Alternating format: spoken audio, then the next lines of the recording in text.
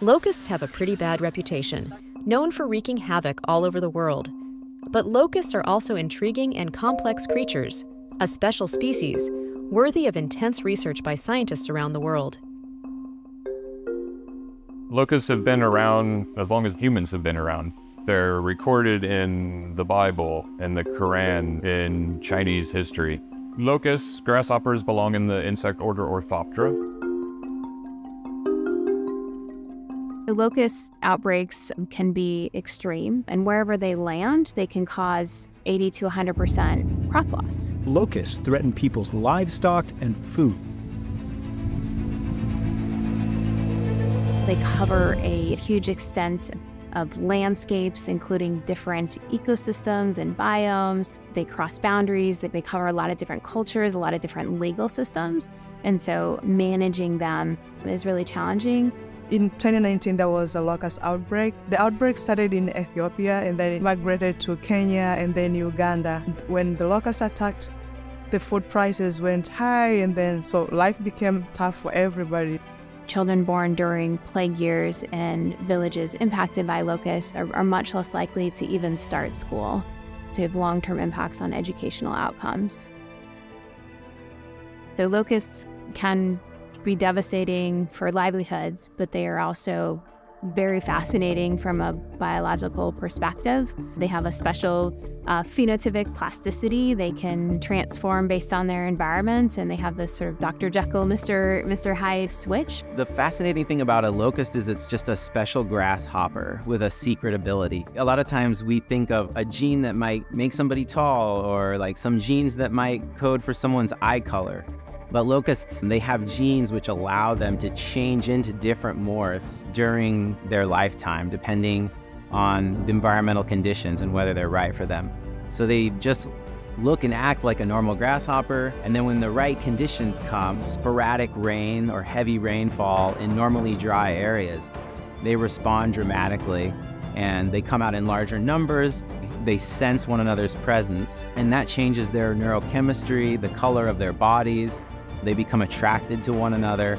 And if these conditions persist, then they march in coordinated formations across the landscape and then eventually swarm in unthinkably large clouds. This is a textbook example of phenotypic plasticity. Density affects the phenotype. Same species, but reared in two different density conditions. A locust. Gregarious and solitaries. The only way you can achieve this coloration and then gregarious behavior is by wearing them in high density condition. I have been studying locusts for my entire career, and here I have the luxury of wearing them and can do some ex very exciting experiments. These things will actually march in the lab. If you have a high enough density, you can actually see them march around. It's complicated to predict locust outbreaks, which have these horrible impacts on folks in uh, locust endemic regions, because once we think we figured something out, then we put that into our prediction models, and then it doesn't always play out in nature the way that we thought it would based on our lab data. So when you see an upsurge on the news, there's the tendency to think maybe there could be a simplified solution or we just need a silver bullet, but it's actually highly complex. For other pests, you can manage them like a country or a community can just try and work on it and then they eliminate the problem. But locusts require collaboration, communication between many people across countries, across communities.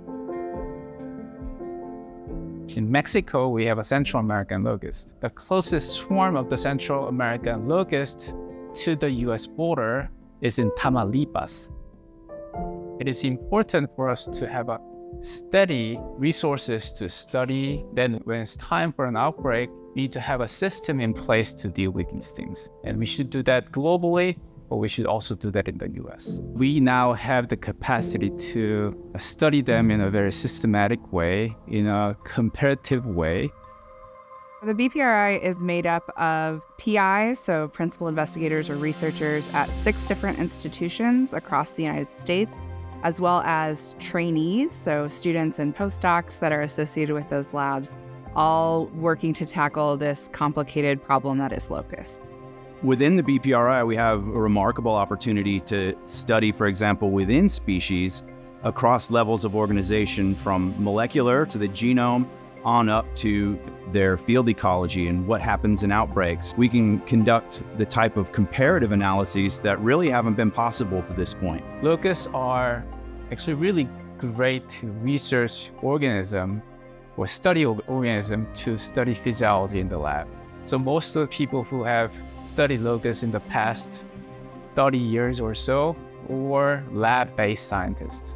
But now we are talking about studying locusts in the field, studying locusts in a context where those actually matter to people.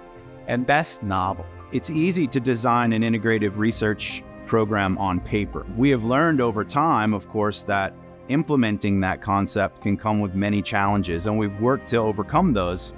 Being in BPRI gives me the opportunity to be able to interact with other people, know how they think. We are all trying to solve the same problem, but we also think differently. So we have these tools that help us to see the problem from different perspectives and therefore able to come up with something that is more complete. By studying locusts from all of these different angles, we hope to understand not only how we can help people globally that are directly impacted by locusts, but also understand why animals in general are able to shift and change and what kind of parameters are on them.